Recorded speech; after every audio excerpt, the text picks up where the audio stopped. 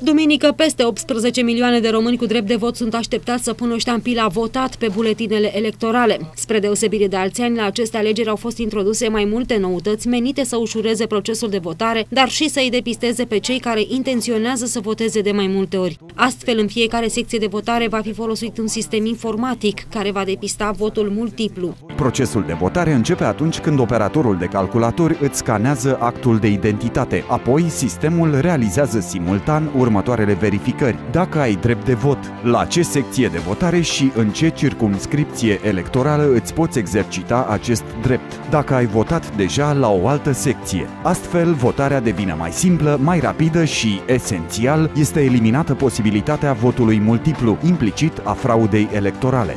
La alegerile de duminică au dreptul să voteze persoanele care au împlinit 18 ani, inclusiv cele care împlinesc această vârstă pe data de 5 iunie. Pot vota și cetățenii Uniunii Europene care au reședința în România. Alegătorii pot vota la secția de votare la care este arondată strada sau localitatea de domiciliu sau reședință și unde sunt înscriși în lista electorală permanentă. Persoanele care nu se pot deplasa la secție din motive medicale pot solicita urna mobilă. La alegerile locale poți vota numai în localitatea de domiciliu sau de reședință.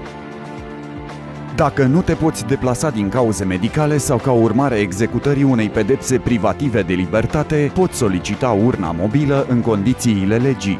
Pentru a putea vota este necesar oricare din următoarele documente. Cartea de identitate, cartea de identitate provizorie sau carnetul de serviciu militar în cazul elevilor din școlile militare.